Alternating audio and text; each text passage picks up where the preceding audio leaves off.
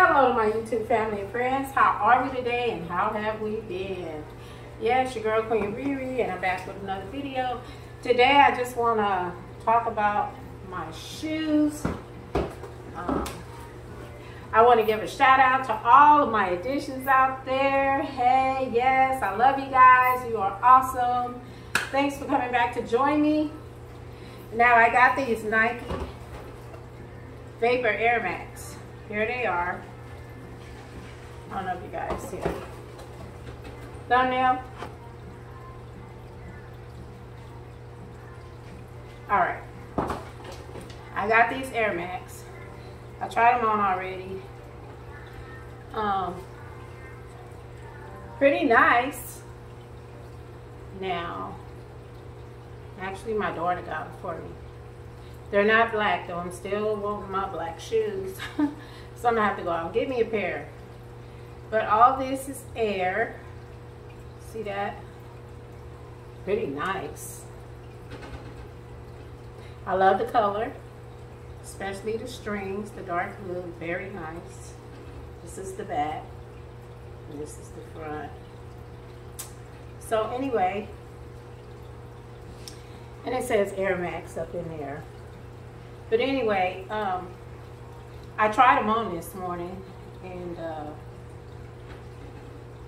the air at the bottom, I mean, it's like you're walking on air. They're very nice. I mean, walking in, but kind of slippery. So I don't know if this would be the ideal shoe for anybody, but this is how it is. And I'm going to wear them today, and probably after that, I'll probably just give them back to my daughter. But uh, anyway, I love the color. Very nice. And uh, as you can see, has a little Nike sign right there. This part right here is like leather. And this material right here is like foam. Yeah, very nice. So anyway, I can't keep them though because when I walk, they're kind of slippery, and if it rains and I'm in them, I will slip and fall, I'm sure. But that's it about the Nikes. So,